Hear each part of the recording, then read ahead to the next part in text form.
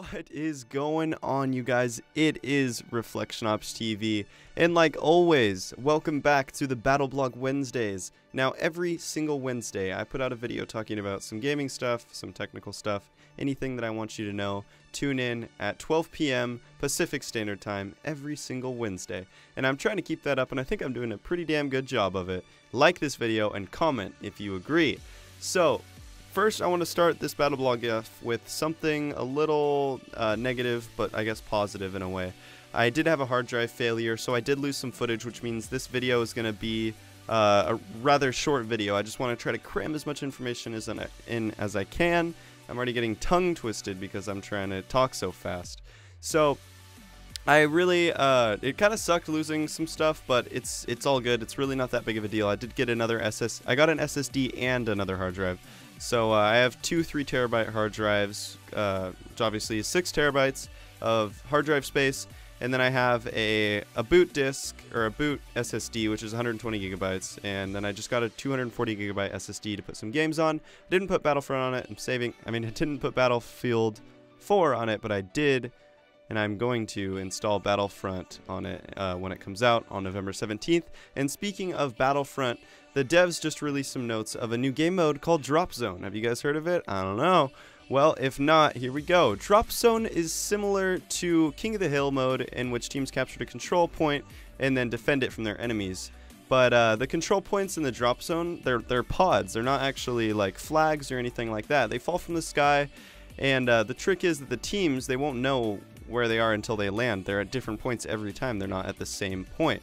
So uh, the devs wanted to do this because they wanted some quick uh, action, and you have to think fast. And camping, they're going to eradicate the campers in that game mode because there's really no point in camping. Um, will there will there be some? Of course, you can go in any game, and there's going to be campers for no reason. So the victory depends on uh, if you captured uh, five pods. If you've captured five pods, or if you control the most when the 10 minute game mode ends. So I am super, super excited about this. One also thing I'm super excited about this, uh, one thing also I'm super excited about is uh, that they have power pickups. And what power pickups are is that when the pods come down, there's going to be a special power or special item in there. And uh, you're not going to know what it is until the, you capture the pod and it opens and it gives you a, a, a power so you're going to definitely want to get a good pod with a good power, but you're not going to know until you open it. So hopefully you'll get one and use that in as advantage to capture other pods. And like I just said earlier, it does come out November 17th, but the beta comes out before that. And am I going to play that? Hell yes. I'm going to preload that. I'm going to play it the second it comes out, and I'm going to get you guys the footage immediately. So I don't know if you guys are excited. I am. I really enjoy Star Wars and everything about it. I think it is amazing.